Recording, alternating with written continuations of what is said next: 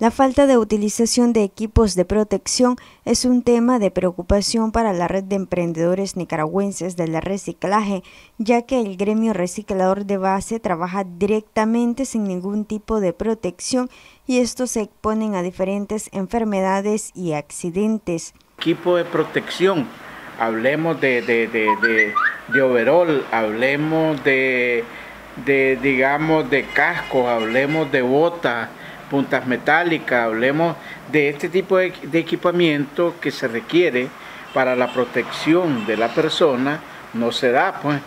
Es más, pues en algún momento, si vos te fijas, nosotros hemos visitado algunos centros de acopio, de igual manera no tienen ningún tipo de protección a la hora de estar manipulando, digamos, los diferentes tipos de residuos. Entonces, nuestra organización promueve ¿verdad? Recordemos que esta es una limitación, ¿verdad? De las cooperativas, del gremio reciclador, porque si recolectas hoy es para la comida, si recolectas hoy es para la sobrevivencia de hoy.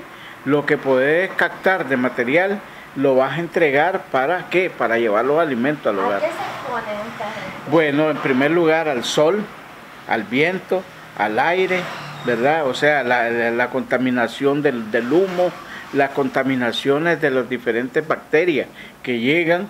El reciclador de base, por ende, ¿verdad? padece mucho de infecciones, padece mucho de problemas gástricos, padece mucho de dolores de cabeza, ¿verdad? por la exposición que él hace a la hora de estar manipulando los residuos en los diferentes vertederos y en las calles. Pues. Narváez recordó la importancia de que los veraneantes no contaminen las playas. Alrededor de 3,8% de nuestra población acude ¿verdad? a estos bañarios. Estamos hablando entre 6.500 y 7.000 personas que se mueven en los bañarios.